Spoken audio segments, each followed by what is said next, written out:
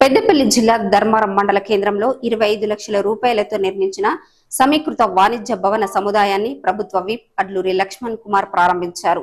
ఆ తర్వాత ప్రాథమిక వ్యవసాయ పరపతి సంఘం ద్వారా ఇరవై ఐదు లక్షల రూపాయలతో నిర్మించిన వాణిజ్య భవన సముదాయాన్ని ప్రారంభించారు. అనంతరం విప్ అడ్లూరి లక్ష్మణ్ కుమార్ మాట్లాడుతూ జగిత్యాలలో బీఆర్ఎస్ వర్కింగ్ ప్రెసిడెంట్ కేటీఆర్ చేసిన వ్యాఖ్యలను ఖండించారు. కేటీఆర్ మాటలు దెయ్యాలు వేదాలు బలించినట్టు ఉన్నాయని ఎద్దేవా చేశారు. పది సంవత్సరాల బీఆర్ఎస్ పాలనలో తెలంగాణ రాష్ట్రాన్ని అప్పుల పాలు చేసి రాచరిక పాలనను కొనసాగించారని మండిపడ్డారు.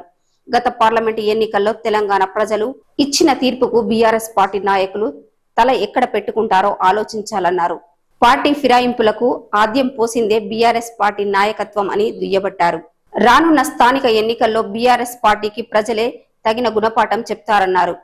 TRS BRS party working president KTR నిన్న మాట్లాడిన మాటలు ఎట్లుంటే దయ్యాలు వేదాలు వర్ణించినట్టునేది పది సంవత్సరాలకెళ్ళి ఈ రాష్ట్రాన్ని అప్పులపాలు చేసి రాచరిక పరిపాలన చేసి దోసుకొని దాచుకొని ఇయ్యాల వీడియోలు చూపెట్టుకుంటా.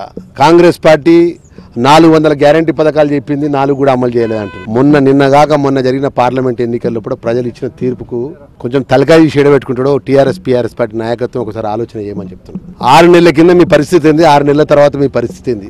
దానికి నీ మాట్లాడే ఈ మాట యొక్క ఏదైతే నీ మాట్లా నీ బాడీ లాంగ్వేజ్ నీ మాట్లాడే యొక్క మాటతోనే తీవ్రంగా ప్రజలకు పది సంవత్సరాలు చేసిన మోసానికి ప్రజలు ఎట్లా బుద్ధి చెప్పాలని అట్లా బుద్ధి చెప్పిండు అయినా కూడా గుణపాఠం రాకుండా ఆత్మ పరిశీలన చేసుకోకుండా నియోజకవర్గ స్థాయి లోపల మా టీఆర్ఎస్ బీఆర్ఎస్ మూడో ప్లేస్ పోయింది డిపైడ్ గల్లంత అయింది ఒక్క సీటు కూడా గెలవలేదు ఎందుకని దాన్ని మాత్రం పరిశీలన చేయకుండా మా గౌరవ రాష్ట్ర ముఖ్యమంత్రి రేవంత్ రెడ్డి గారి మీద అనుచితమైన వాక్యాలు ఇష్టానుసారంగా నోరున్నది గారు మాట్లాడితే రేపు రాబోయే కాలంలో కాంగ్రెస్ పార్టీ కార్యకర్తలు ఏ విధంగా బుద్ధి చెప్పాలో ఆ విధంగా బుద్ధి చెప్తారు. కేటీఆర్కు హరీష్ రావు కానీ ఫిరాయింపుకి సూత్రధారి పాత్రధారి ఎవరు?